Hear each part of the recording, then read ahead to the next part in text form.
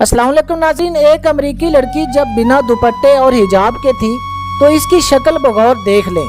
और जब इसे एक मुसलमान खातून ने हिजाब उड़ाने की ऑफ़र की तो उसके बाद जब इसको हिजाब उड़ा दिया गया, इसको शीशा दिखाया गया।